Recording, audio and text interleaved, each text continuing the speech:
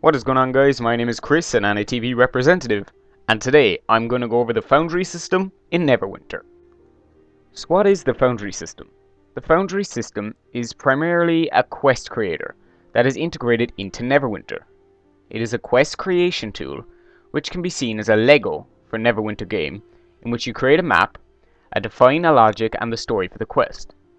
Basically it's a tool that lets you design your own dungeons that players can run through. So, how to get started? Let's see. To start the Foundry from the game is really really simple and it only takes 3 steps. From the character creation screen, press enter the Foundry button. This will open up the selection menu. From this screen you can click create quest to create your first ever quest and it will open up the quest editor.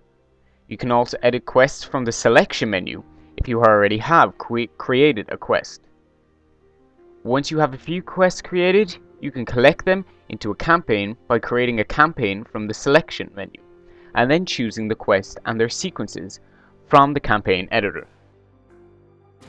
So with everything player created, there's going to be judgment, and this is where ratings come in. Cryptic, the creators of Neverwinter, use the lower bound of a Wilson score interval to determine the rating of quests. Yeah, big word. First of all, basically you know, one bad review won't cripple your quest's rating. Also keep in mind that a player can only rate your quest once. They can change their rating in a later date, but they can also review it once more.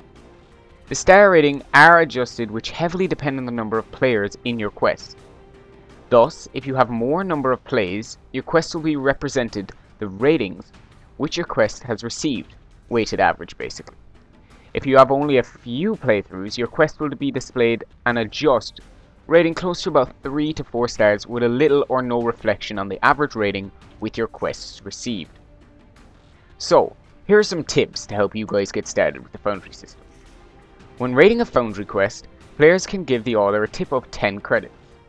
However, players can only give tips 3 times a day to prevent large funds from being transferred this way.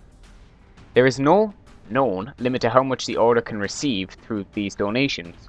So creating high quality Foundry missions that are enjoyable for other players can be an amazing, sustainable source of income. You can also earn rewards through the Foundry system. Players get a daily reward of Astral Diamonds for playing the Foundry quests. However, to prevent the pull of this lever to complete type of quests, Cryptic has a minimum length of 15 minutes of a playtime for the quest to be eligible. In addition to this, a quest has to be at least played 20 times before it is eligible for a daily reward. So you can't create an easy quest and then have your friends go through it to boost your way through the daily rewards. It is a good idea to try and put enough content in your quest to ensure it lasts 15 minutes so players can get their daily reward out of it. On the flip side, keep in mind that time is precious. Having an average playtime of an hour will also drive some players insane that's basically your basic overview of Neverwinter's Foundry system. If you have any questions, please leave them in the comments below. And as always, if you want your very own Play Now link, check the description below. My name is Chris, an any.TV representative, and I'll see you in the next video. Have a good one, guys.